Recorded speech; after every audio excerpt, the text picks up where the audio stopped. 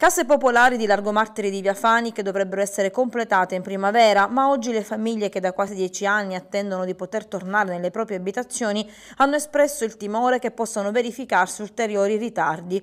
Una preoccupazione che hanno manifestato il sindaco Matteo Ruvolo, che proprio al nostro telegiornale qualche settimana fa aveva invece manifestato ottimismo su un completamento delle palazzine nel prossimo mese di marzo. Secondo il comitato di Largomartiri di Viaffani, invece, i lavori avrebbero subito dei rallentamenti. Ci sono pochi operai nel cantiere, hanno riferito oggi alla nostra emittente, e visto l'andamento non siamo per nulla convinti che la consegna potrà avvenire in primavera.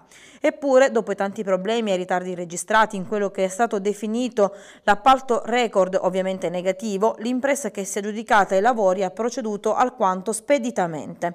A fronte dei timori manifestati, il sindaco di Ribera si è impegnato a contattare l'Istituto Casse Popolari di Agrigento e il direttore dei lavori per fare il punto e capire se effettivamente si registrano ritardi sulla tabella di marcia prevista. Peraltro, sempre recentemente era stato superato il problema del contributo affitto e le famiglie interessate avevano potuto ricevere le somme relative all'ultimo trimestre del 2020. Contributo affitto che viene assicurato sin dal 2013, anno in cui gli alloggi vennero evacuati per poi essere demoliti e ricostruiti.